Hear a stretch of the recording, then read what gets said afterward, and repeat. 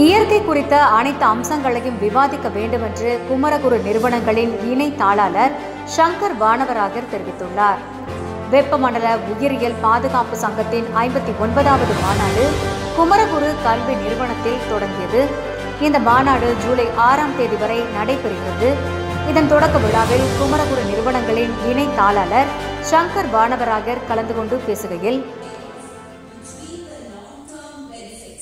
ecosystem services and the ecosystem benefits in terms of tangible and intangible services. That is a huge challenge.